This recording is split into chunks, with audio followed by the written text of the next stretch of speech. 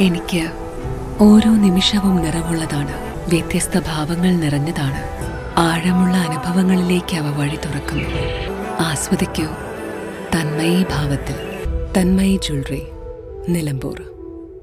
പത്തൊൻപത് വയസ്സുകാരിയെ പീഡിപ്പിച്ച് ഗർഭിണിയാക്കിയ കേസിൽ അൻപത്തിയേഴുകാരന് പതിനാറ് വർഷം കഠിന തടവും ഒരു ലക്ഷത്തി പതിനായിരം രൂപ പിഴയും ശിക്ഷ.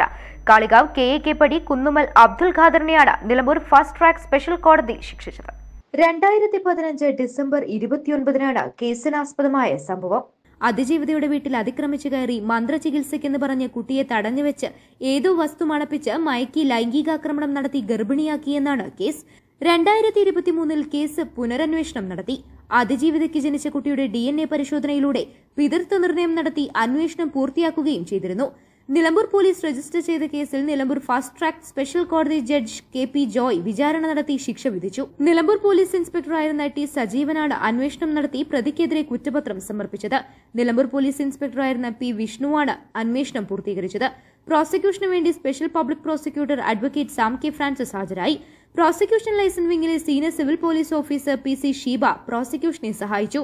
പ്രതി പിഴ അടയ്ക്കുന്ന പക്ഷം അതിജീവിതയ്ക്ക് നൽകുന്നതാണ്. അതിജീവിതയ്ക്ക് നഷ്ടപരിഹാരം നൽകുന്നതിനായി ജില്ലാ ലീഗൽ സർവീസ് അതോറിറ്റിക്ക് നിർദ്ദേശം നൽകിയിട്ടുണ്ട്. പ്രതിയെ ശിക്ഷ അനുഭവിക്കുന്നതിനായി തവനൂർ ജയിലിലേക്ക് അയച്ചു. News bureau Nilambur. സ്വന്തം ഹൈസ്പീഡ് ഇന്റർനെറ്റ് നമ്മുടെ സ്വന്തം ഇന്റർനെറ്റ്.